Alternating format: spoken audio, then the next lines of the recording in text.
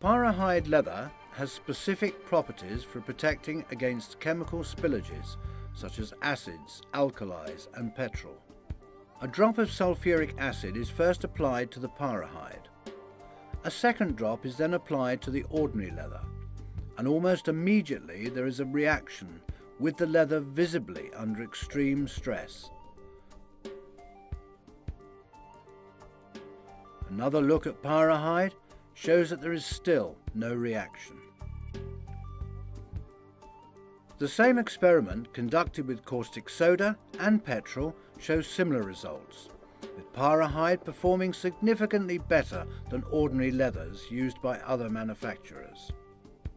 In a job where contact with dangerous chemicals is a common occurrence, gloves made from pyrohide offer more protection, can be cleaned with greater ease and outlast all competing brands.